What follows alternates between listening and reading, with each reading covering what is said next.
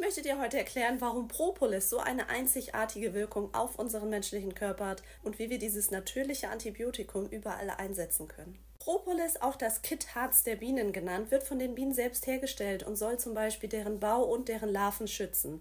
Dabei besteht Propolis aus 150 bis 200 verschiedenen Stoffen, darunter natürlich Harz, Bienenwachs, aber auch ätherische Öle, Mineralstoffe, Spurenelemente, Enzyme, Aminosäuren und vieles mehr. Eine Allzweckwaffe also, oder? Dabei haben die Wirkungen von Propolis eine lange, lange Tradition und sind in vielen Volksheilkunden bekannt. Heute wissen wir, dass Propolis in der Lage ist, die Zellteilung von Bakterien zu hemmen und dementsprechend eine antibakterielle Wirkung hat. Außerdem wirkt es gegen die meisten Viren, zum Beispiel Erkältungsviren, Herpesviren und aber auch gegen Hefepilze.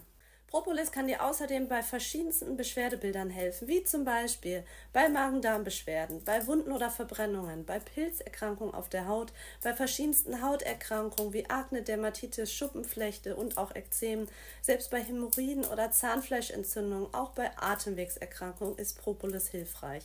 Schau doch einfach mal bei B&U rein, welches Produkt für dich passen könnte und überzeuge dich selbst von der Kraft der Natur. B&U bietet hierbei verschiedene Cremes an, die Propolis enthalten.